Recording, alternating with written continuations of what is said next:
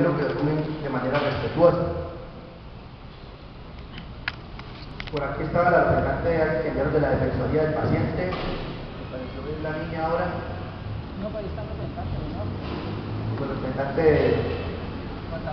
de la Defensoría del Paciente, no, está de la Secretaría Departamental de Salud. La Defensoría del Paciente de Tuluá. Vi una niña ahora, pero entonces no es. Entonces no sé cuál es la función que estamos ejerciendo como Defensoría del Paciente. En estos días, representante de nosotros, hubo algunos ajustes, pero no lo veo hoy, entonces no sirvió de nada. Señor secretario de Salud del municipio, persona eficiente, quien ha tratado de hacer las cosas de la mejor manera. Yo le daría una recomendación, mi doctor López, de manera respetuosa.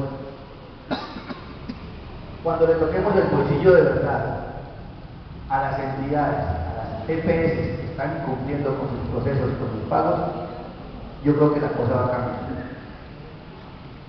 Cuando le mandemos, le realicemos auditorías drásticas de una manera objetiva,